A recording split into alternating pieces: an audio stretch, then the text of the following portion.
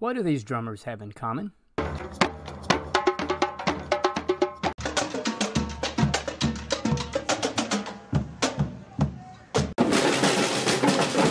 These drummers use longitudinal waves in order to transport the sound of their drums. Welcome to Moo Moo Math and Science and Longitudinal Waves.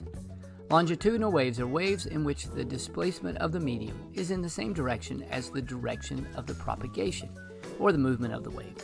In other words, the displacement of the medium is parallel to the propagation of the wave. Longitudinal waves are also called compressional or compression waves because they produce compression and rarefaction when traveling. Let's take a look at the anatomy of a longitudinal wave. The compressions are regions of high pressure due to the particles being close together.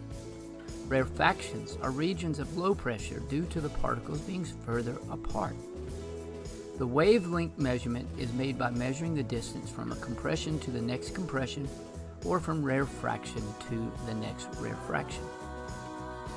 The frequency of a longitudinal wave is the number of wavelengths that pass a fixed point per second.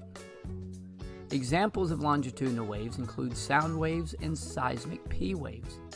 P waves, just like sound waves in air, have the motion of the particles in the rocks that the waves travel through parallel to the direction of the wave. If you'd like to know more about waves, this playlist will help.